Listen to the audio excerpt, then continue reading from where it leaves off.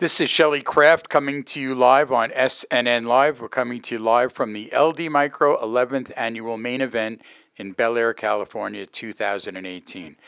I have with me today Bryan Ganz, Security Devices International. It's a publicly traded company on the OTC markets, and the symbol is SDEV. Bryan, welcome to SNN Live. Shelley, thank you very much for having me here. Good to have you.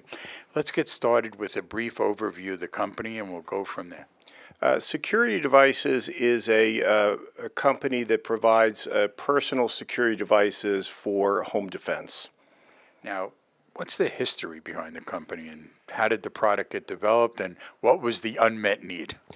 When I joined the company a couple of years ago, we were providing uh, 40 millimeter uh, blunt impact uh, munitions for law enforcement and uh, military. These are very, very difficult markets, highly regulated markets, and we wanted to pivot to find a way to address the much larger market, the home defense market and the private security market, um, rather than the very regulated uh, police and military markets. So we were looking for some way to find something that would not be as regulated as the 40 millimeter ammunition. Um, so what we were looking for, what, what we came up with was uh, the Byrna personal security device. It is a handheld device um, in fact, I have one with me here that I carry with me. But this is uses a CO2 cartridge. It fires a chemical irritant round um, at about 300 uh, feet per second um, and is able to disarm an attacker uh, very effectively. So how does it work? The, the round is filled with a chemical irritant, uh, pepper, uh, olocapsaicin, OC, uh, sometimes CS, uh, a tear gas. Um, so it will uh, cause somebody's eyes to involuntarily shut. It will cause respiratory distress. It is very, very effective. Um, it's currently used by uh, law enforcement in uh, police applications and prison applications. Um, it's very, very nasty stuff. So when you get hit with this, and we've been doing a lot of human effects testing uh, lately, um, people will go down very quickly. They'll be incapacitated for several minutes, um, giving uh, the homeowner a chance to get out of the house safely and to call 911. What is the competitive advantage over some of the other methods used? Well, there's a void today uh, because uh, the biggest form of uh, protection is a firearm. Um, and obviously, we want to give uh, a homeowner something that's non-lethal. There's, um, there's a lot of gun owners like myself that really are not anxious to take a life.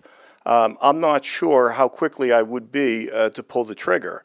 Um, that split second could be fatal. So I want something that's non-lethal. That's the first thing. Secondly, the other non-lethal devices like pepper spray, um, a, a, baseball bat, require a very, very close encounter. Um, the Byrna will allow you to uh, disarm an assailant at uh, uh, significant distances. The launcher is accurate up to 60 feet, um, but we think will be used primarily probably uh, inside at distances 25 or 30 feet away. Um, but this allows you to disarm a threat before it becomes serious, and that's really what we're trying to do. What are your competitors? Uh, what's the landscape out there? Uh, I, I, think the primary competition right now is uh, mace and pepper spray. Um, you'd be surprised at how many women carry mace and pepper spray. Uh, when we were just doing a little poll in our office, we were shocked and decided we had to be much nicer to our female employees uh, because virtually every woman we, woman we know carries mace and pepper spray. Um, in terms of other launchers uh, like ours, there isn't anything really directly competitive, although there are other uh, gas-fired launchers that fire uh, chemical irritant rounds. They're much, much larger, which makes them impossible to carry in a concealed manner. Uh, you can't fit it in your purse, you can't fit it in your glove box, you can't carry it uh, on your person as I'm carrying the Byrna today. Um, so I think we fill a void uh, that allows somebody to use this as truly a personal security device. And I think that's where, uh, uh, where we fit in um, and create something that doesn't exist in the market today. Who's your target market? Our target market really, I, I, think we exist at the intersection of both gun owners like myself who are not willing to take a life um, and homeowners not willing to own a gun. So I, I, know that there are a lot of people that would never want to own a gun but want to have some form of self protection. Um, we also think that this is an opportunity for private security that can't have a, uh, that are not allowed to carry firearms. We think RVers would look uh, would be interested in this. We think boaters would be interested in this. We think truckers would be interested in this. Uh, we've already gotten an order, um, the first order for 3,000 launchers from South Africa. Uh, we think in countries like South Africa, where it's difficult to own a handgun, um, this will be very popular. The uh, purchaser is a company called Dave Sheer Guns. Um, they're the largest distributor of handguns in South Africa. And when somebody comes in to buy a handgun, they may have to wait six or nine months uh, to get approval. They walk out with nothing. Now they can walk out with an effective means of self defense. They are also selling to Securitas, which is a private security company.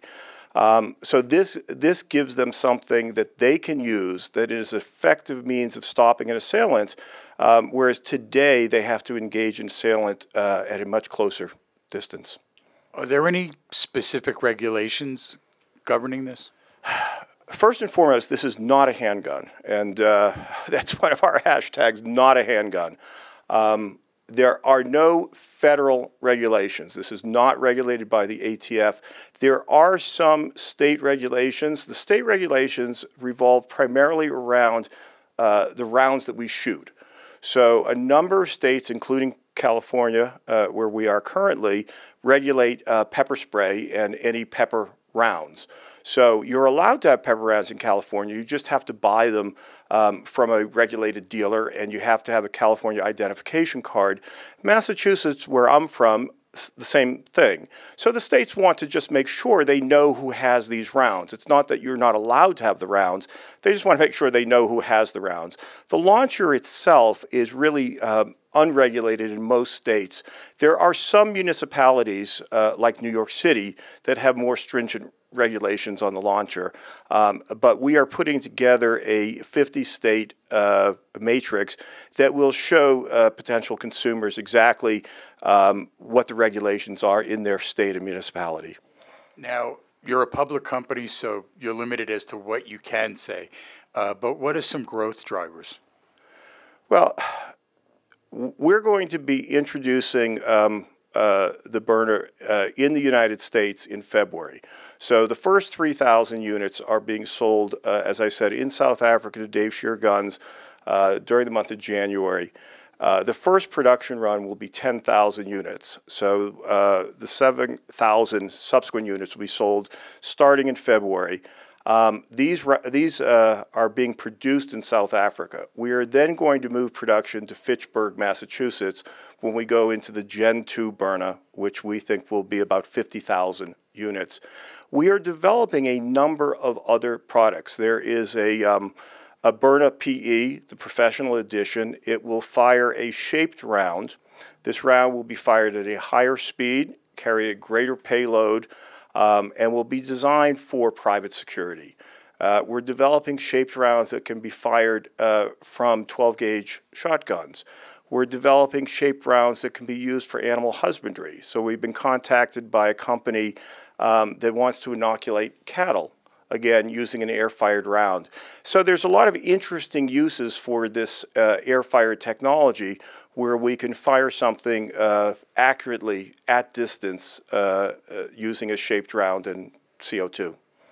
Bryan, let's get your website out for more information for our investor audience, if you uh, would. It's www.byrna.com, and that's uh, B Y R N A, and uh, that's the way we say burner in Boston. It's a Byrna. Ladies and gentlemen, Bryan Ganz, Security Devices International. It's a publicly traded company in the U.S. It's SDEV. I'm Shelly Craft. This is SNN Live. We're coming to you live from the LD Micro 11th Annual Main Event in Bel Air, California, 2018. Bryan, thanks for coming on. Thank you very much. I really appreciate it.